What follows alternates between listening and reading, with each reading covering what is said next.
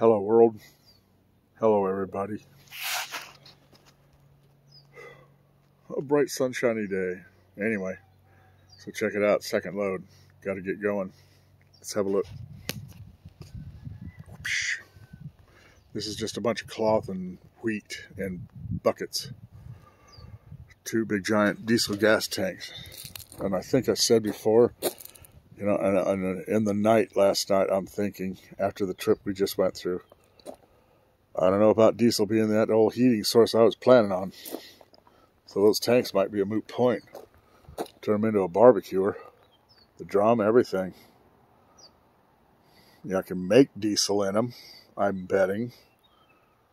So, but now I have a real top priority is what I'm going to spend my petroleum dollar on, what I'm going to do with it.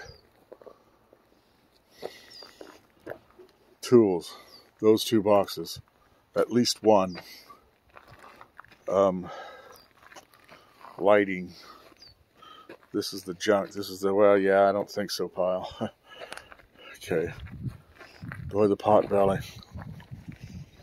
I burned that up. I used that too soon. You can't find one nowadays. But the toolboxes, some food items that are just gone. This is the yams, you know, and then the boats.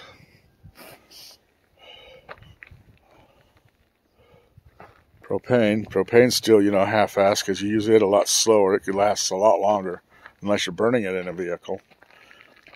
You know, the uh, cab company I worked for in Vegas, they had all propane converted uh, Ford Crown Vics. Man, I love Ford Crown Vics too. Then there's this I got to get rallied up, get the fittings for this, you know because that'll go next. This is material, who knows. And wood. I saw a wood source up there in Grass Valley. You know, a store that sells it and big pallets and stuff. So I'm sure it can get be, you know. But the diesel thing, just to burn up to get my butt warm, that's $6, $8 a gallon now, or soon. Boy, that sure is an interesting blow. That's the deal. But go as gotta go as. No question.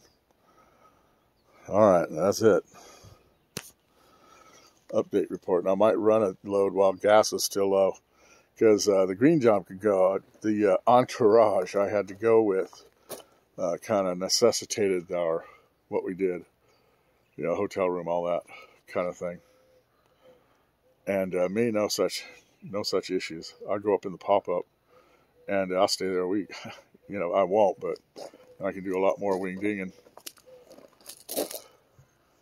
because you know I don't care. what does that offer me? Right, two things: excellent training opportunity and my chance to excel.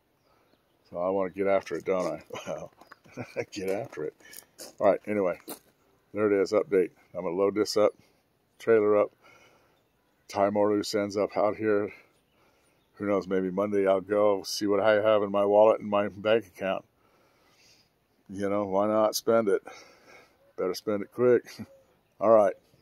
Live by your wits, not by your worries. Hope I didn't say it already. Peace. Bye. La la la.